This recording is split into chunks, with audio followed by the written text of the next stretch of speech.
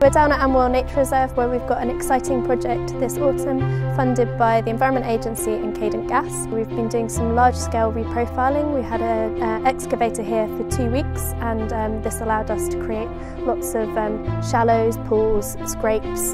At the same time we've had a new sluice installed. This will allow us to um, better manage the uh, water levels around Great Hardmead Lake and allow us to expose more mud and have that um, bare mud in the breeding season for wildlife, but particularly for our waders and wildfowl. We've recently had um, the pigs arrive down on the reserve